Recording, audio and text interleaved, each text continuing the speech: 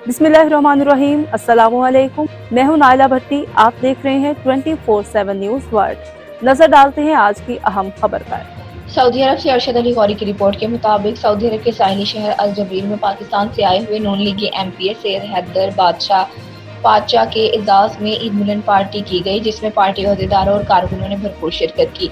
तकरीब से खिताब करते हुए मेहमान खसूसी सैयद हैदर बादशाह का कहना था मुखालफी की मनफी सियासत ने हमेशा मुल्क की तमीर और तरक्की को नुकसान पहुँचाया है।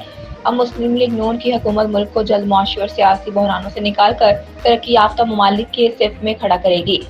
तकरीब से खिताब करते हुए राजा तालिब कयानी का कहना था कि ईद उल फितर का त्यौहार हमें बाहमी यगानगत रवादारी, नफरतें मिटाने के साथ साथ मुआशरे में बसने वाले अफराद को अपनी खुशियों में शरीक करने का दर्ज देती है। तकरीब से हाजी हयात खान, जुबैर चौधरी, राजा आमिर कयानी, सलीम भट्ट और दीगर ने भी खिताब करते हुए सैयद हैदर बादशाह की बेलो, सियासी और समाजी खदमात को सराहते हुए खराज तहसीन पेश किया। मजीद खबरों और अपडेट के लिए देखते रहें twenty four seven news world. मुस्तद खबरों की दुनिया।